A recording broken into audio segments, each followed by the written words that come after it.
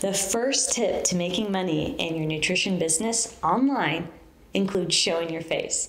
I bet you're not surprised because if you've watched any of my videos and you follow us at all on social, I talk about this every single day. And the reason being that this is such a powerful tactic for you to build trust among your community. And if you don't quite have an audience yet, even better. It's a great way for you to introduce yourself, for you to let people know that you're a human. There's a human behind the brand, and you're there to provide a solution and a transformation for your audience's needs. So, doing this regularly and doing this across social platforms is a great way for you to start showing up and building trust among your audience. And if you're only using one social platform, let's say Instagram, then you want to primarily show up there. And then as you grow in your business, you can show your face in other platforms as well. Many of our clients will start with one platform hit some goals, right? And, and, with consistency, and then they'll move on to other platforms. So, for example, starting Instagram, once you're able to make money for three consistent months and set goals, and you've got a process going on, then you're able to also add on a podcast, or you're also able to start using Facebook, or then you're able to use TikTok, etc. So, keep in mind that you want to be consistent in one platform and set and hit goals before you move on to another one. Now, it's true among all platforms, no matter what platform it is, you want to show your face. Now, you don't need to have your niche identified to get your first client, right? Let's say make your first couple hundred bucks if you were just to get a client and not worry about it being perfect, but let's say charge 250 bucks for your first client just to get the ball rolling. You don't need to have everything figured out, but you will need to define your niche your ideal client, and really get clear with how you articulate the solution and the outcome you provide your clients as you progress in your business. So keep in mind that to get your first client or your first thousand dollars or start, you know, getting things in motion in your private practice, it's okay if you don't have everything figured out. In fact, if you wait until everything's figured out, you'll delay your ability to start helping people and making money. So the sooner you can take on clients and perfectly and progress with time, the better. That being said, you will need to identify your niche at some point. That process for some of our clients takes longer than others. That being said, don't let you not having your niche clear hold you back from telling people, I'm taking clients, right? So you will evolve with time. You have to give yourself permission to do so. The second step to making money online in your nutrition business is to set realistic goals. Now, I've noticed a lot of dietitians, and I do talk to dietitians every day, many of them do not have clear, quantifiable goals or realistic goals. Now, if they do have a goal, they might say they want to quit their clinical job, which is the most common thing we hear, but they don't really have steps to get there and break down that big, lofty goal. So, if you want to achieve something, just keep in mind when you want to become a dietitian, right, and become RD eligible. If your end goal was, I want to become a dietitian, you have to break down, all right, I'm going to take these prerequisites. I have to sit in for my exam. I have to become eligible to sit in for my exam. I have to complete my dietetic internship. Well, you know, which program will I complete that through? Now you have to have your master's degree. So there's so many mini steps and goals you need to set to achieve that bigger picture goal, which is being eligible to sit in and actually take your exam and become a dietitian. And that's no different from setting goals, specifically money goals in your private practice. If your end goal is to replace your clinical salary and become a six figure earning online dietitian, which many of our clients have done, and that's what we help you do, you want to break that down. So the first goal might be I want to get my first client, right? Be able to receive payment. The second goal might be hmm, I want to make my first thousand dollars. And then the third goal might be consistency, right? You want to be bringing in money consistently in your business. And that's going to help you break things down if you have a small goal, a medium term goal, and you're building on those goals and you're making them time bound. So maybe you want to get your first client in the next 30 days. And so if you have that as a goal and you write down the end date that you want to achieve that goal, then you can reverse engineer the steps that you want to take to get there. And many of those steps I've shared in all of the videos that I've put here on YouTube, specifically this video where I share the tips of how to start your private practice.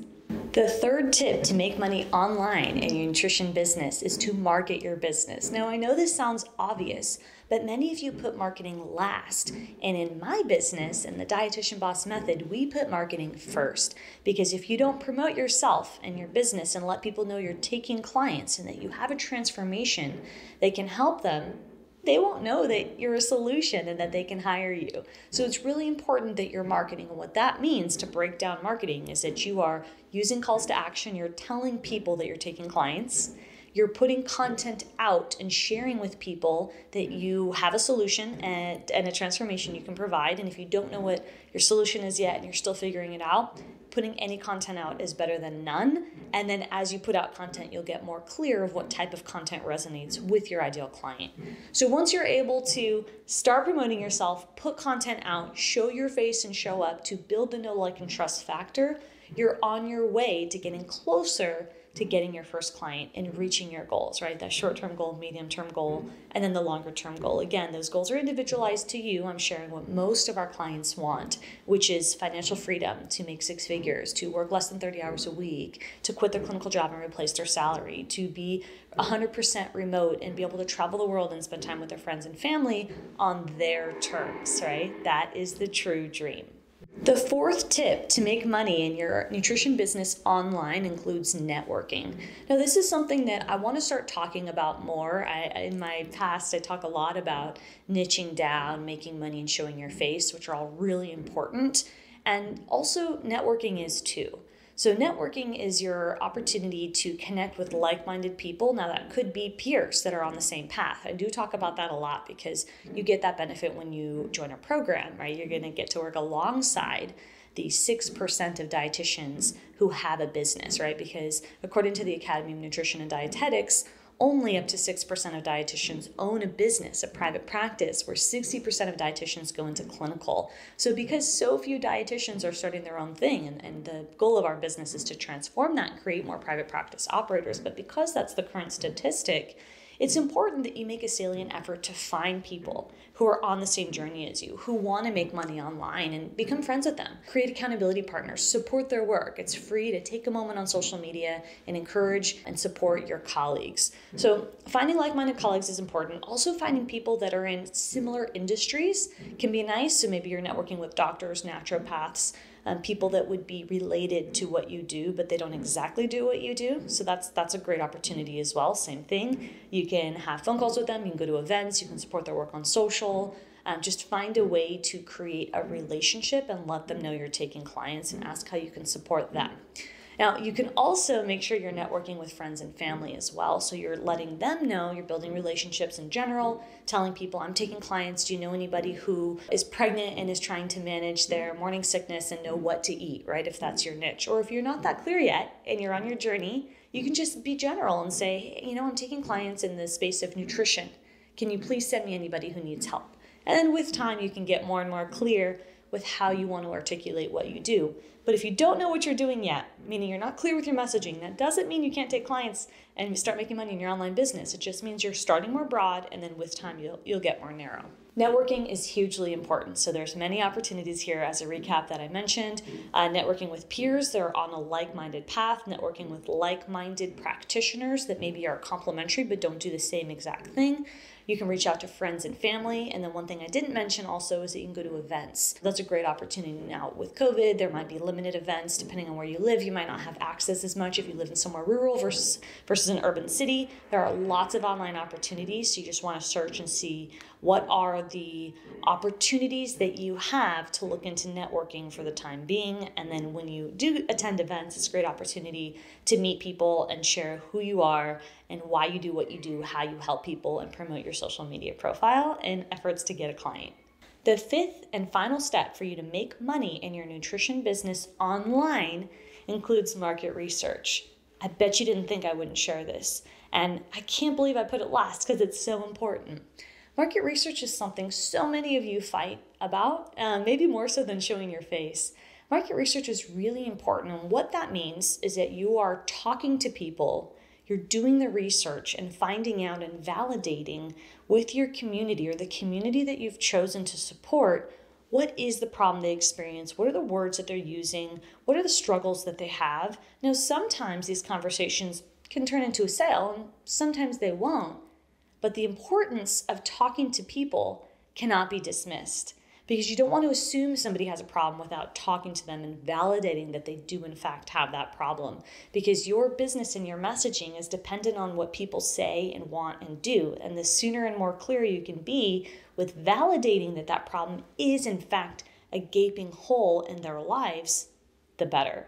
So you want to be doing market research as a regular process, not only when you start your business, but all throughout the duration of your business, constantly talking to people in your community, finding out what they want and need, how they feel, what they would pay for, why they paid for something, why they didn't pay for something, and then keeping relevant to the seasons.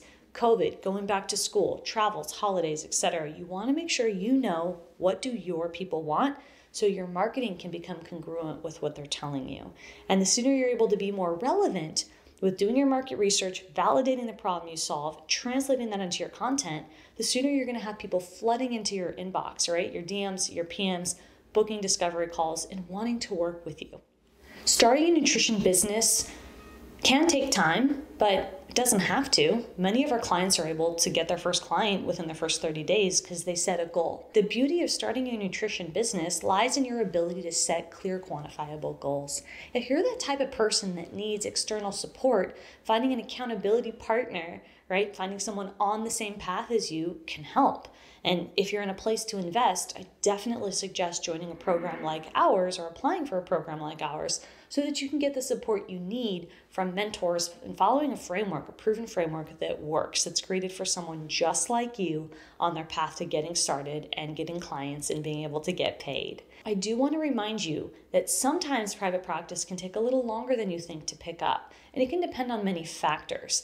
But if you are willing to set clear, quantifiable goals, focus on identifying who you're talking to in your community, doing market research, showing your face consistently, and networking, you're on your path to being able to make money faster. Some of our clients will get their first client before they expected, and some of our clients will take a month or two longer, but then they get flooded with clients after they're able to really connect the dots from the steps that I laid out for you today. So if you're looking for more information about how to niche down and you want to get more clear about what that means, I want you to check out this video. But if you're clear on niching down and you feel like you got that covered, I want you to check out this video to learn how to stand out among the crowd.